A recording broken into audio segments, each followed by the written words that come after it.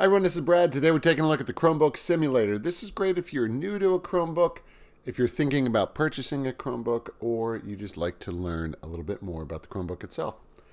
So you can see under here some popular topics. And you can also see on the left-hand side these options as well. So let's go ahead and just select Get Started. And you can see if we select Sign In as a guest, it'll be, in this example, a five-step process. So you can just go ahead through it walks you through the steps. And then, if you'd like, you could go ahead and restart the tutorial or go ahead and check out your other ones over here. So what I'm going to do real quickly is just show you what else is on here.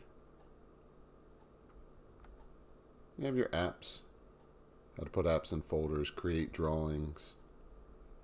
So you can see how helpful this would be for people deciding if they'd like to purchase a Chromebook or they just like to know what a Chromebook can do. So here we have our files, accessibility features as well,